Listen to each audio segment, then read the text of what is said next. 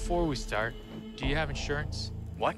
Your coverage good? Like, you have dental? Oh, haha. Is there a hospital nearby? Is it like too far? About like 25 minutes, I'd say.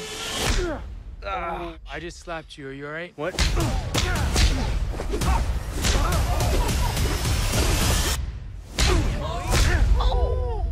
So you like to fight? You ever win? No one ever wins a fight.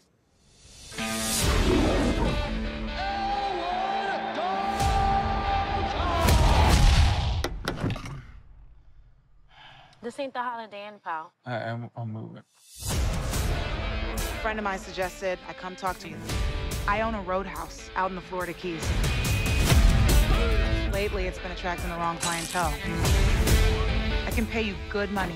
Judging by your car, you need that. Well, I like my car. Think about it. Come on, bro. I know who you are. Elwood Dalton. Big fan, man. That guy's got a knife under his shirt. You just take a big step back and pop me in the face. You can do it. Tell me about this bouncer. He acts all nice, like he's Mr. Rogers or something, but then he'll haul off. Really interesting guy, overall. Brandt wants to take the roadhouse away from me. He wants to build some resort. I should warn you. People have a certain way of getting things done around here. Hey, fellas.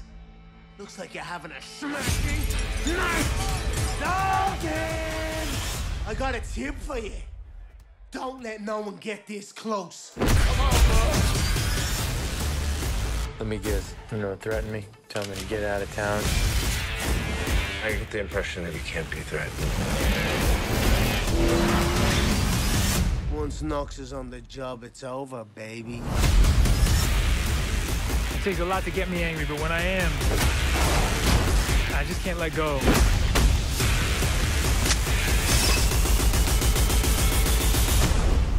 People seem a little aggressive around here.